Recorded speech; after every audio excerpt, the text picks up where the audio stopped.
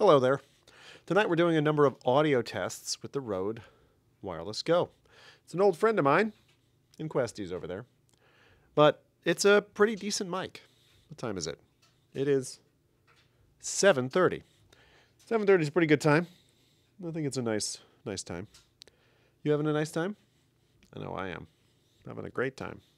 My twosies are supposies. That's right. So we're doing an audio test to make sure that voluminous, blustering, bellowing audio still sounds crisp, clear, and beautiful. And if it doesn't, then feck it. We've done something terribly wrong. But I'm hoping that it will sound good. Because if it doesn't sound great, well then that's not it's not fantastic, is it? Anyway, we're going to do this the old school way. I'm going to tell you about some cool stuff. Look at these awesome fake glasses on my face. They have the best pass through that I've ever had. They're super clear. They're lighter than can possibly be. You can barely even feel them.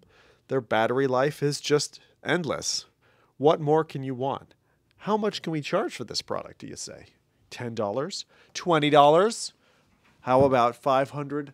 $500,000 for the best AR glasses ever.